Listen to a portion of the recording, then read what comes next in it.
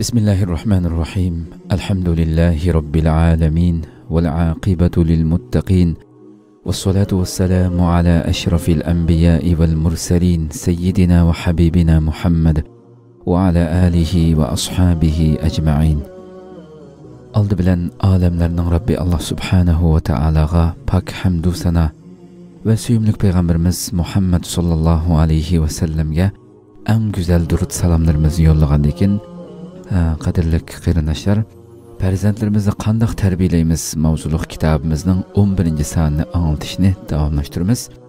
Hammanglarga ma'lum bo'lgandek qarindoshimiz ustoz muhammad yusuf qalamga olgan farzandlarimizni qandoq tarbiyalaymiz? Mavzuliq kitobimizni anglitishni davomlashtiramiz. Yana kelgan yerimizdan boshlab. Inshaalloh bugungi 11 sonimizda odatlantirish ya'ni ko'ndirish usuli orqali tarbiyalash degan mavzudan boshlab Э, diqqatinglarga sunamiz. Alloh subhanahu va taolodan o'rganganlarimiz o'qiganlarimiz bilganlarimizga amal qilish ne'matini ato qilishini shundoqla farzandlarimizni haqiqiy e, o'zimiz e, rozi bo'g'idak islom rozi bo'g'idak alloh rozi bo'g'idak bir shaklda go'zal e, tarbiyalashga muyassar qilishini yanada robbimizdan tuvanchilik bilan tilaymiz. Mikrofon oldida qayrindishinglar abdulloh yalqun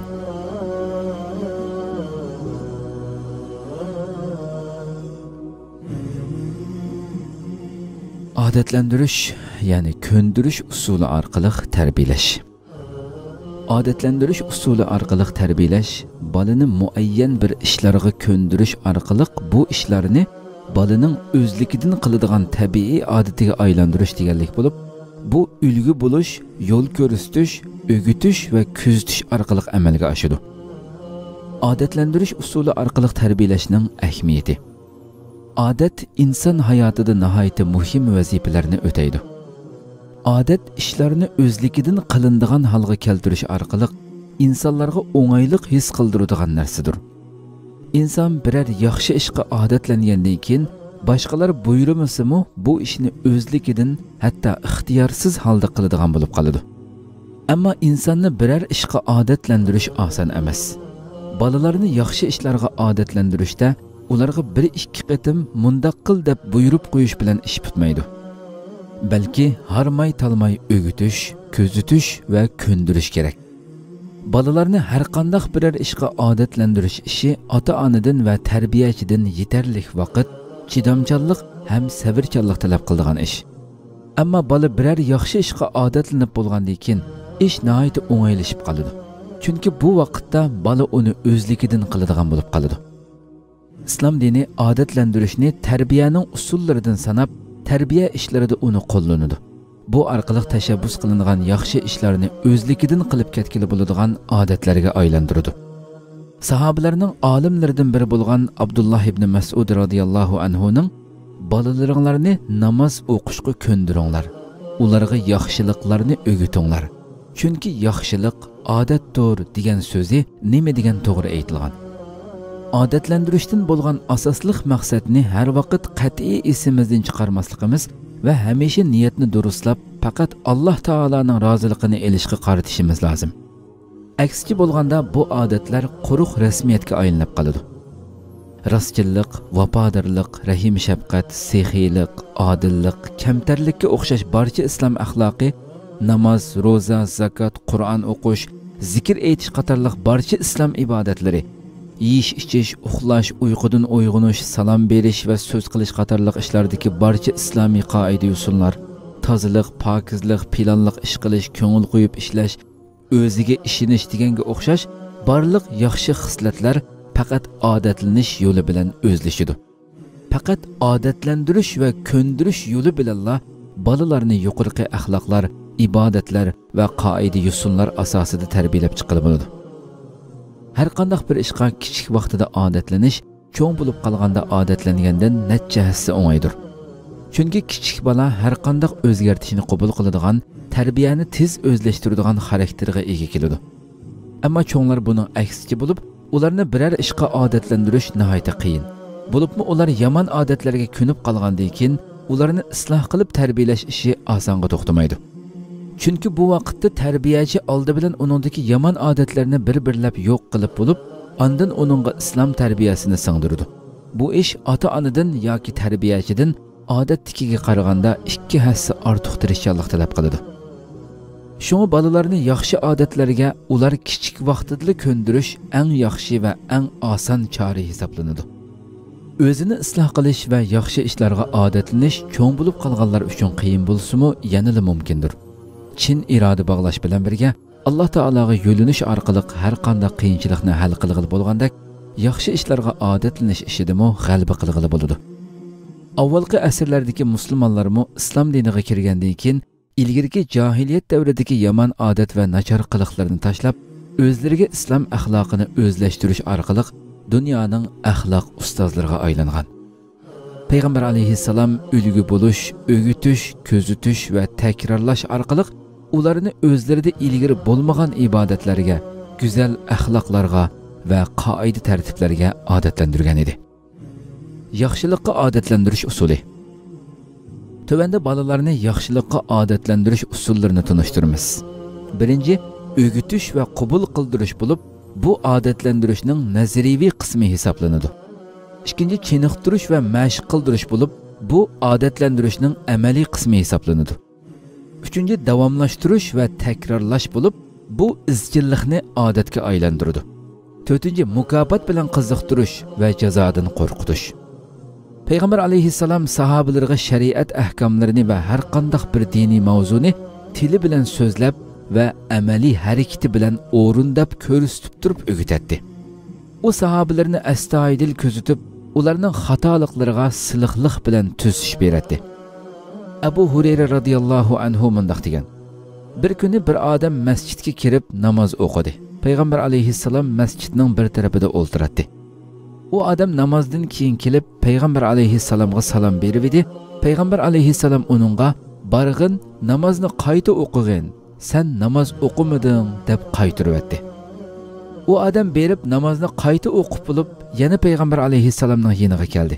Payg'ambar alayhissalom uningga yana oldingi so'zni qilib qaytiribdi uchinchi qatimda andin bu odam payg'ambar alayhissalomga yo rasululloh man buningdan boshqasini bilmayman o'zlari manga o'gitib qo'ygan bo'lsin ekan dedi. Shuning bilan payg'ambar alayhissalom uningga mundoq dedi. San namoz o'qimoqchi bo'lganingda oldi bilan tahoratni yaxshi olgin. Andin qiblaga yuzlanib turib takbir aytqin andin qur'ondan bilganlaringni o'qig'in. Andin oldirmasdan to'liq ruku qilg'in. Andin to'liq tuzlanib o'ri turg'in. Andin sajdaga borg'in va oldirmasdan sajda qilg'in.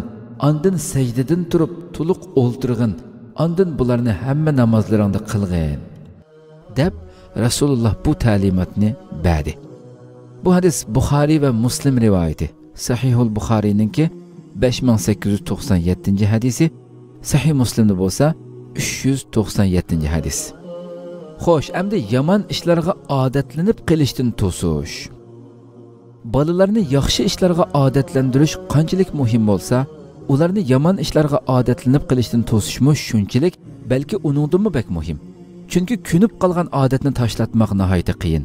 Shunga eng yaxshisi bolalarni yomon odatlarga kunib qilishdan to'sish va ularning barcha harakatlarini ko'zitib turish lozim. Arablarda kasaldan saqlanish davolanishdan yaxshi deydigan hikmatlik so'z bor. Hozirgi uyg'ur jamiyatimizda bolalarni o'ginib qilishdan saqlash zarur bo'lgan noiti xatarlik yomon ishlar mavjud. Bularning beshida tamaka haroq nasha xiroin zina qatorliqlar keladi. Tamakini xiroinning oldida tilga ilishimizdagi sabab tamaka xiroin chekishning muqaddimasi bo'lganligidandir. Chunki har qanday bangi xiroin chekkuchi emas ammo har qanday xiroin chekkuchi bangidir.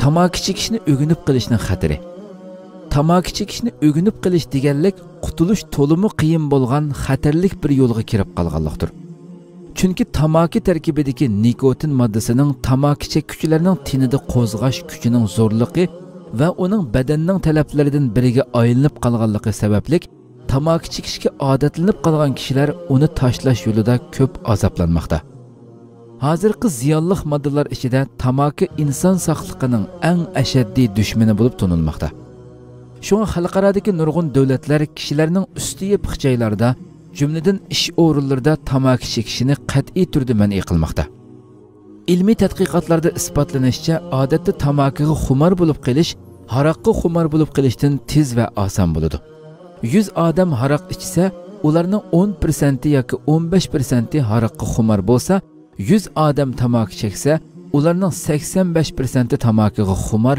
bangi bo'lib qoladi xo'sh endi bolalarni tamaki chekishni o'rganib qilishdan saqlash choralari.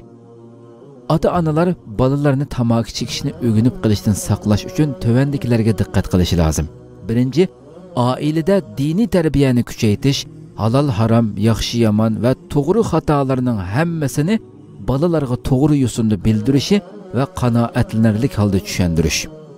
Ikkinchi taqvodir bo'lib nafsini yig'ish va isil axloqlarda bolalarga ulgi bo'lish.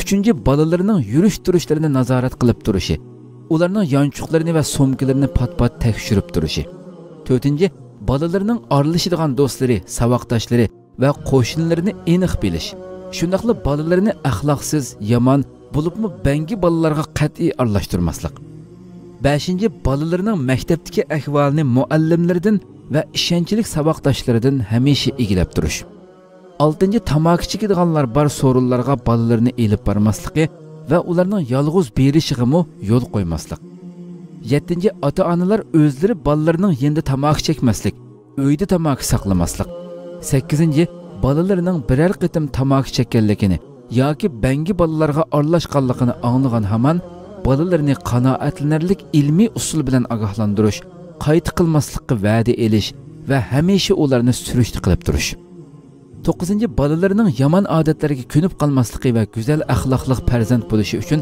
allohga sig'inib har doim duo qilish. O'ninchi tamaka haroq xiroin nasha va boshqa ziyonli narsalarning xatiridan bolalarni hamisha ogohlantirib turish. O'n birinchi navoda oila cho'nglaridan birarsining tamaki chekadigan yomon odati bo'lsa shu sabiy farzandlarning yuz xotirasi va ularning pok pokiz tarbiyalanishi uchun bu odatini qat'iy tashlashi lozim. Farzandlarni rostilla yaxshi ko'radigan odam o'z nafsining isyonkorligini yengidi va gunoh masiyatdan oladigan vaqtliq lazzatni farzandlari uchun qurbon qiladi xalqimizda qo'lni kesmiguchi qon chiqmas deydigan hikmatlik so'z bor dunyoda har qanday bir maqsadni amalga oshirish uchun badal to'lashga to'g'ri keladi farzandlar mayli qanchalik cho'ng badal bo'lsimi albatta to'lashga arziydi tamaka o'z roziligi bilan o'zini o'ldirishdir dunyo sahiya tashkilotining yaqinda e'lon qilgan rasmiy statistikalik dokumentida mundoq deb qayd qilingan dunyoda yiliga tamaki sababli 2,5 million odam o'ladi bu son 1945 yili ikkinchi dunyo urushining oxirgi mezgillarida amerika qo'shma shtatlari yaponiyaning hiroshima va nagasaki shaharlariga atom bombasi tashlaganda o'lgan odam sonidan taxminan 10 hassa ortiq chunki u vaqtda atom zarbasi bilan o'lganlarning soni 250 ming odam edi. Dunyoda aydiz kasali tarqalgandan keyin 1981 yildan 92 yilning oxirgichilik bo'lgan 12 yilga yaqin vaqt mobaynida aydiz kasali bilan o'lganlarning soni dunyo bo'yicha 250 mingdan ozroq oshidi buningdan ma'lumki dunyoda tamaki sababidan bir yil ichida o'ladigan odam soni yaponiyaga tashlangan atomda o'lgan aydiz kesili sabablik 12 yil ichida o'lgan odam sonidan necha hassa ko'p bo'lmoqda. Tamaki chekishdan saqlanish choralari. Tövandagi chora tadbirlar tamaki chekishni o'rganib qilishdan saqlanishga yordamchi bo'lishi mumkin. Birinchi tamaki chekadiganlar bilan imkon qadar aralashmaslik. Ish munosabati bilan chorasiz aralashishga majbur bo'lgan taqdirdami tamakiga salbiy nazar bilan qarash uni xatarlik bir ofat yoki olvasi deb tunish va shundoq muomala qilish. Ikkinchi o'ginib qolmayman degan ishonch bilan bir ikki qitim chekib beqishdan qattiq hazar aylash. Uchinchi tamakiga zo'rlig'uvchilarga qat'iy bo'y egmaslik va shundoq ahvolga mubtalo bo'lib qolmaslikning chorasini qilish. To'rtinchi tamaki chekadiganlar bor so'rinlardan mumkin qadar o'zini qochirish amalsiz qatnashib qolgandimi bangilardan yiroqroq o'ltirish.